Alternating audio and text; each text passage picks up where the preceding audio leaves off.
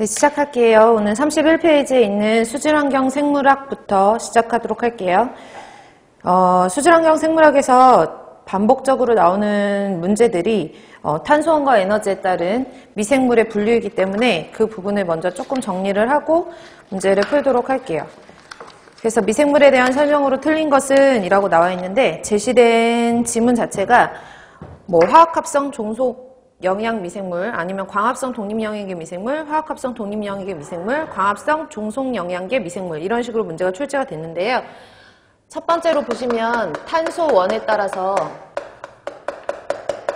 보통 우리가 무기탄소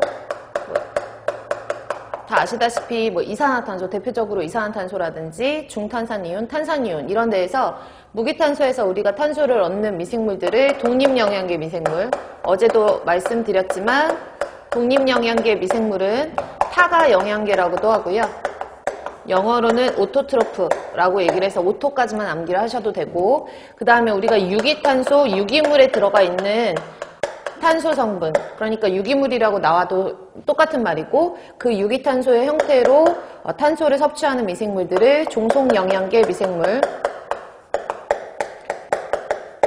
어, 제, 죄송해요. 잘못 썼네요. 얘가 자가, 어. 얘가 타가. 그래서 종속영양계 미생물은 헤테로트로프 마이크롭스라고 얘기를 하죠. 그래서 탄소원에 따라서 무기탄소에서 에너지를 얻느냐, 그 다음에 유기탄소에서 얻느냐에 따라서 독립영양계 미생물과 종속영양계 미생물로 나뉘고요.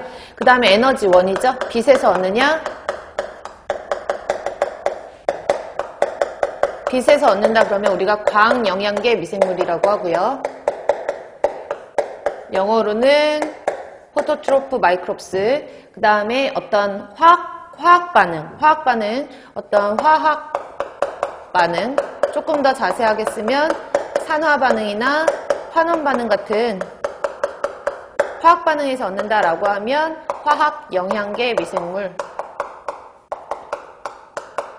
그래서 영어로는 케모트로프 마이크롭스 이렇게 정리를 하고요. 그 다음에 문제를 푸시는 게 조금 더 수월하실 테니까 정리해 놓으시고 보실게요. 그러면 1번 같은 경우에는 화학합성 종속영양계 미생물이니까 화학합성 종속영양계 미생물은 종속영양 미생물 유기물을 에너지원으로 하고 유기탄소를 탄소원으로 한다. 맞는 설명이고 광합성 독립영양 미생물은 광합성이라는 말이 붙어 있으니까 포토트로프죠. 그래서 빛을 에너지원으로 하고 독립영양계 미생물이기 때문에 산소를 탄소원으로 하는 게 아니라 뭐를 탄소원으로 하는 거죠? 독립영양계 미생물은 무기탄소죠. 그래서 O2가 아니라 정확하게 고치려면 CO2라고 고치셔야 되고 3번, 4번은 옳은 설명이니까 비교해서 봐두시면 될 것 같아요.